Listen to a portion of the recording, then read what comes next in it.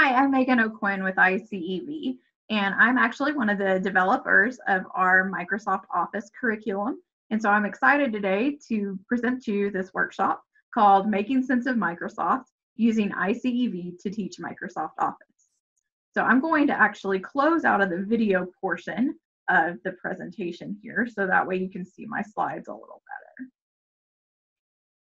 So like I said, my name is Megan O'Quinn. I've got my Twitter handle here, and then I also have my email address. So feel free to contact me if you have any questions after the session and would like some more information on Microsoft Office or ICEV in general.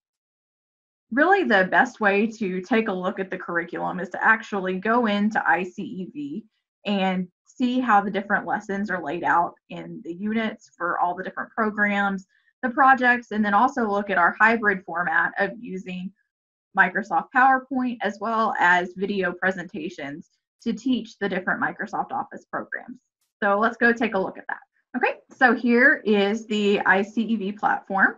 And so this is actually the first screen that you would see once you've logged in and decided that you're going to choose a course to be added to ICEV. So to locate the Microsoft Office curriculum, there's a couple of different places that you can look. The first is going to be in a business applic computer applications course or business information management, anything that would be dealing with um, computer applications or teaching Microsoft Office is going to have kind of this parentheses with the version that's covered within the course. And then the other place where you can actually go and locate the Microsoft Office curriculum is under the subject area playlist tab. So if you click on that, you're going to see that there's the 2013 version and the 2016 version. That the subject area playlist is only going to have the Microsoft Office lessons. So if we go back here, and we're actually going to go ahead and add this business computer applications course so that we have it and put it in there.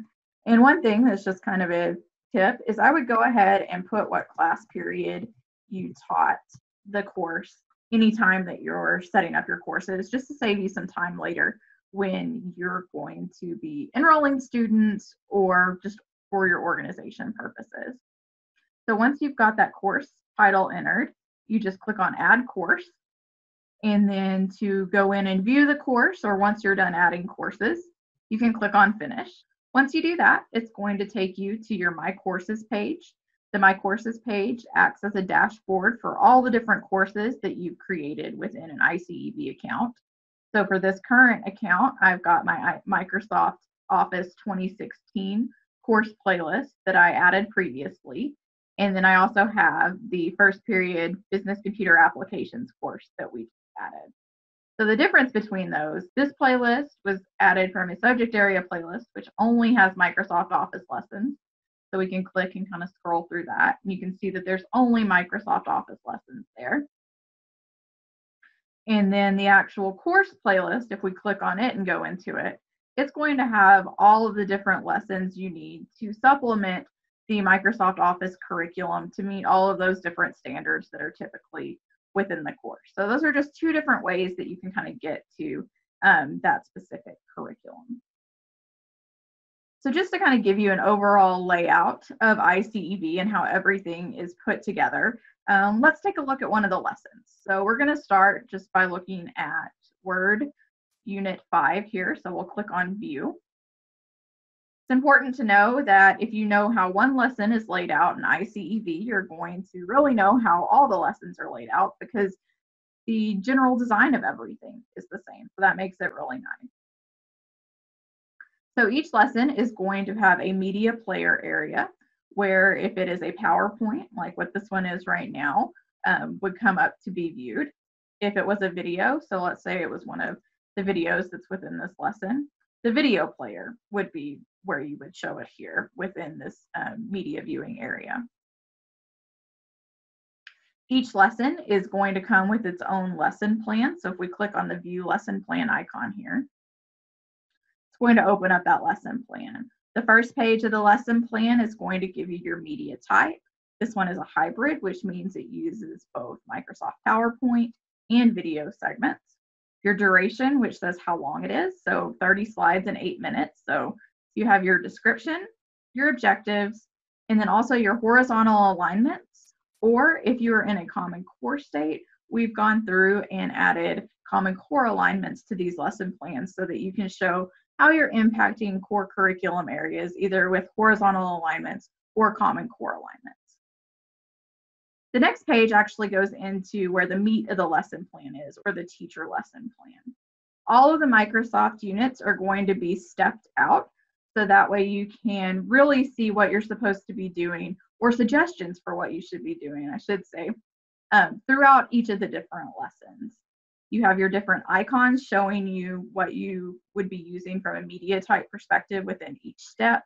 For instance, in step three, you're viewing the PowerPoint segment, saving. And then in step four, you're viewing the video segment called saving documents. Then it's going to discuss the project or activities, as well as the assessments which are available. All the items that are mentioned within the lesson plan are pre-made. And if we go back outside of the lesson plan here, so back to our lesson page, beneath your printable heading, you're going to have any of those particular items. So for instance, there was the project business letter distribution that was mentioned in the lesson. So if we click on that, that's going to open up a PDF. So you can look at it. It's going to have your instructions. Then it's going to have a sample image of what the actual completed file should look like. And then the last page is going to go over a rubric, which we've created for you, as well as give you a place to insert comments. Additionally, if there's a student file needed for the particular project or activity, which there is, it would be located right beneath that particular project and say student file at the end.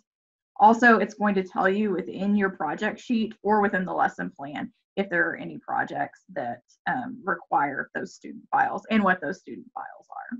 In addition to the projects and activities that you have, you're also going to have student notes or key concepts, depending on which version of the lesson you're looking at.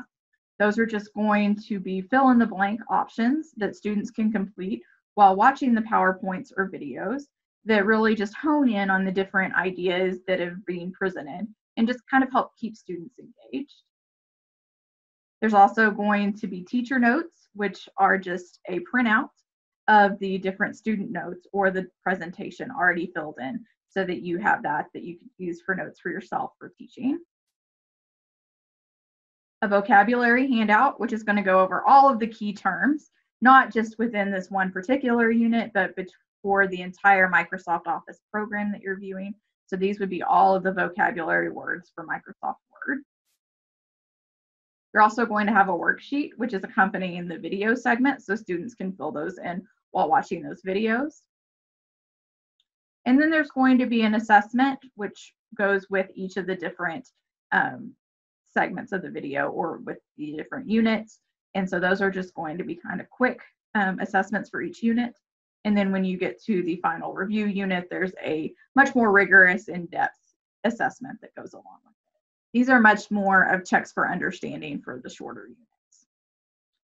One thing that's really nice is if you do have student accounts or student licenses with ICEV, you'll have access to the interactive portion. And what's great about the interactive portion is it's going to grade all of these different items for you. So these are all activities or assignments that you can give your students that would be graded through ICEV. So if you wanted them to complete their student notes, which there was the printable version of, but there's also an interactive version, they could come in and click on the student notes, work through them, and then once they finish those student notes, it's going to automatically grade it for you. And since I skipped a whole bunch, it's going to tell me I didn't do very good. But that would automatically be graded for you from a student perspective. So just a little less paperwork to have to worry about. So the interactive options for those are you're always going to have student notes or key concepts, worksheets, and then also all of the assessments will be available interactively. So those are all things you can do as kind of a time saver. There are some different things that you can do within each lesson to change what your students see. And those are the different visibility settings. And you can see a lot of them on our interactive portion here. There's one column on the printables, and essentially what it is is the visible to students So if you're wanting to make sure that a project or an activity is visible, just make sure that checkbox is checked. We're down here in the interactive portion. You still have that visible to students option. If it's checked, that means the student can see it on their student license. If it's unchecked, that means it's not available for them to see. We're looking at the attempt threshold. You can go in and specify how many attempts that a student gets. If it's left blank, that means that there's an infinite number of times that they can go in and take that particular um, interactive assignment. So going in and setting those is really kind of up to you. We leave them blank by default, so that way um, you can go in and specify the exact number you want. Show details just means show answers whenever a student finishes an interactive activity or project. So if you have that checked, that means when they finish those student notes, it was checked, it would show up and tell them what they got wrong or what they got correct. If it's unchecked, it keeps that a secret. Uh, one great thing about show details is if you hide it, you can hide those up until the point that you're ready for them to study for their final assessment. And then once you're ready for that, you can just turn that back on and then they've got automatic study material for them. There's also the deactivate on date option you click on that, that just allows you to go in and put deadlines on different dates that you want assignments completed by. So you can go in and essentially kind of build your schedule out and also hold students accountable for having um, their materials turned in by a certain period of time or completed by a certain period of time. One other piece that we have that accompanies all the Microsoft Office lessons are going to be what we call our action plans. And these actually appear in other lessons as well. But if we click on one of those, this is going to be a student version of that lesson plan that we looked at, talking about the objectives and then providing them with a step-by-step list of what they need to do to complete the unit that they're working on. So this is great for remote learning. Um, you also have the opportunity, if you are not wanting them to do everything, this provides a number of steps. You could just say complete steps three, five, and seven, and leave off the rest that you don't want them to complete. But it would kind of give you a place to start in determining a plan for what you want your students to do. Additionally, at the end of that, it's going to list any of the student files that they would need when completing different projects or activities. If you think that seeing all the different lessons in a course playlist might be a little overwhelming to your students, you can come over here and then beneath the lesson visibility settings, you can click show settings. This is going to put a drop down menu next to each of the different lessons in your playlist. By default, it's all going to be set to visible to students. But if you come over here and then again beneath lesson visibility heading, click on hide all and then okay, it's going to hide every single lesson from them. So then you can just come in and turn on the lessons that you want to be visible to your students. You also have the option of coming in and making a lesson visible on a certain date. So if you have your syllabus built out and the number of days you think a particular lesson is going to take, or you're wanting to implement due dates, just like you can do on interactive activities, you can come in here and just choose a date for these lessons to become visible to your students. The other option is there were a ton of checkboxes within each lesson. So if you wanted to have some flexibility or save some time, quite honestly, you're over here underneath your lesson and assessment activity heading. You click on hide all. That's going to hide all of those checkboxes. So go ahead and uncheck all of them so the students don't see it on their license. The same thing for the printable activities. And then you also have the option to hide the PowerPoint and video. And I'm going to go ahead and do that. And so what hiding the PowerPoint and video is good for is if you don't want the students to go ahead and start working ahead.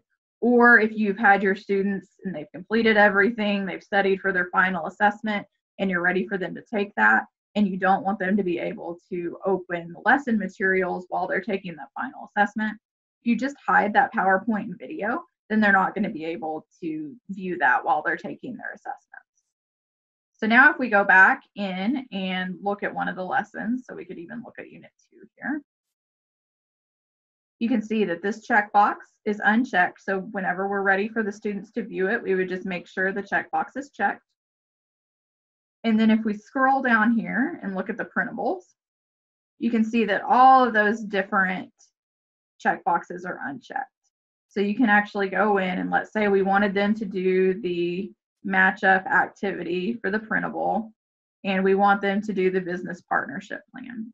One thing that's really important, especially with the Microsoft Office projects in any of the programs, is if you make the project visible, make sure you make the student file visible too, so that way the students have everything that they need for that particular project or activity. The other options here, again, like I mentioned before, you have your interactives. You can come in and make each of those visible to students as you're ready for them to complete them and then go in and set your attempt threshold.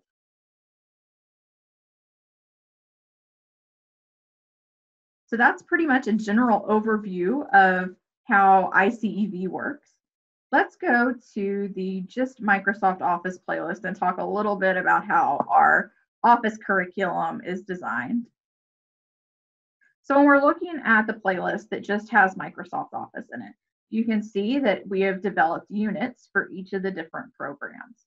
And the way each of the programs is structured is there's going to be a unit which goes over specific course content. So for instance, in Microsoft Word, if we went to Unit 6 and we were looking at it, it's just going to go over formatting tools.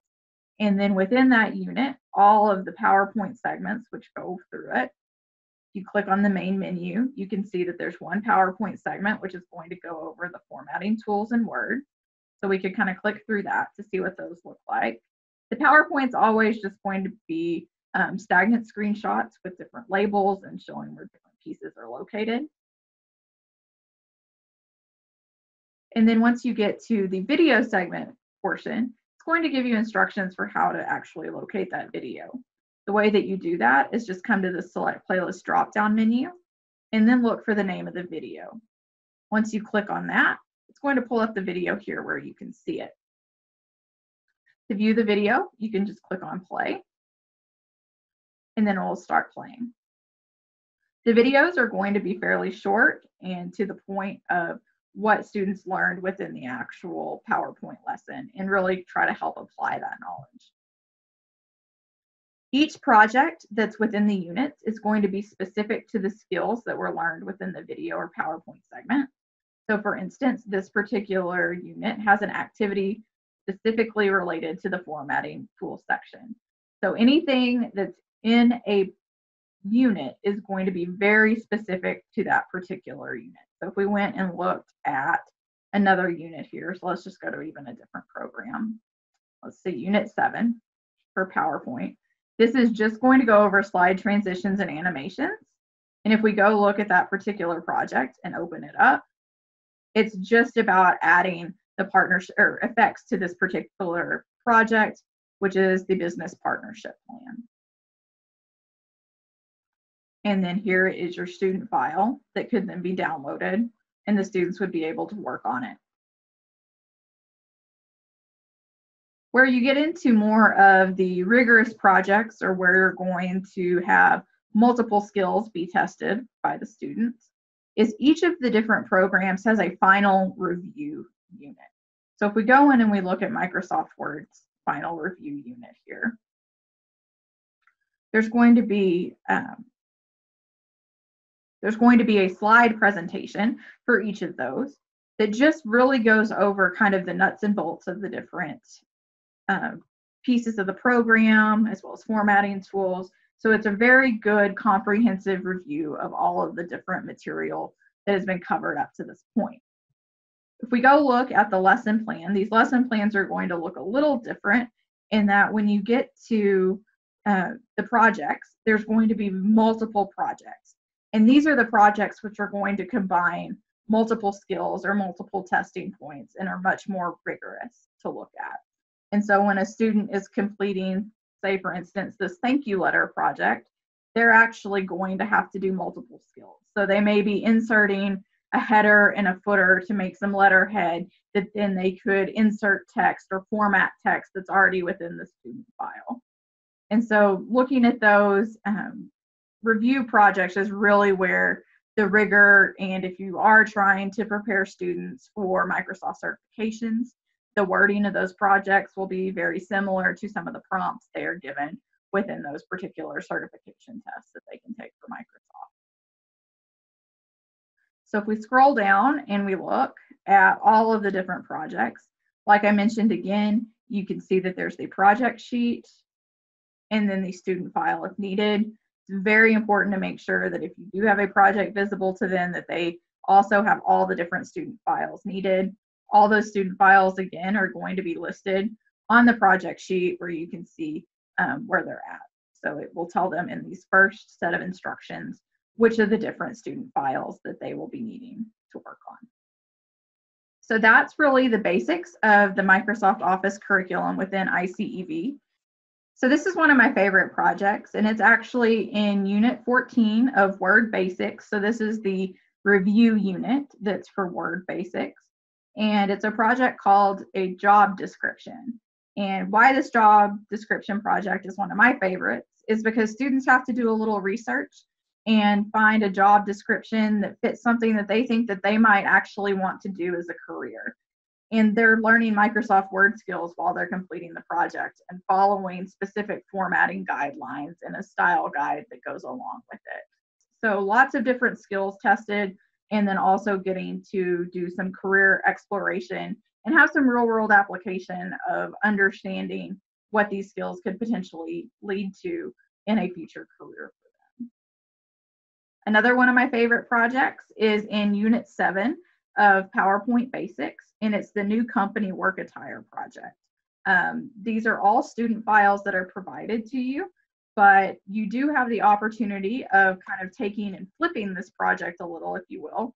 And if you wanted to add some extensions for some of your um, GT type students, you could actually allow them to create their own plan for a company either in town that um, they could work for or their own entrepreneurial company and come up with some of these different components.